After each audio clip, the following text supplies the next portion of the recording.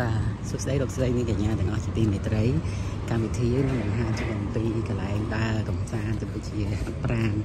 សាធារណៈមួយទៀតនៅក្នុងអឺភ្នំពេញ Center បាទបកកហ្នឹងគឺមួយជ្រុងមួយទៀតដែរអញ្ចឹងឃើញថាកន្លែងនេះគឺមានពីរដែរបងប្អូនឃើញយកមានយើងកំដើរ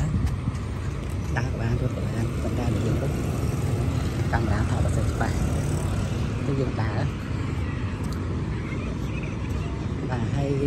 ស្មាននេះអានេះវាច្រើនគាត់ទឹកអស់ហើយឧស្សាហ៍គាត់ដើរតំណងយកមកអីណាហើយដល់ហើយបរិយាកាសក៏មិនជាអឺកន្លែងហ្នឹងអានេះសារយើងយើងអានម៉ូតូធម្មតាតែមិនខានរបស់យើងទេព្រោះអាចដើរហើយស្ដាប់ចម្រៀងនិយាយគ្នាមួយមិត្តភ័ក្តិដែលអត់មានយើងបាទដើរឲ្យស្ដាប់ចម្រៀងស្ដាប់អីចឹងទៅយើងមានអឺ motivational speech របស់អឺវាគ្មិនណាដែលយើងពេញចិត្តគេអាចបើបដាស្ដាប់បដាក៏បានជាភាសាអង់គ្លេសជាភាសាខ្មែរជាភាសាចិនថៃអីចឹងទៅបងប្អូនឃើញអឺពីនេះគាត់កំពុងរត់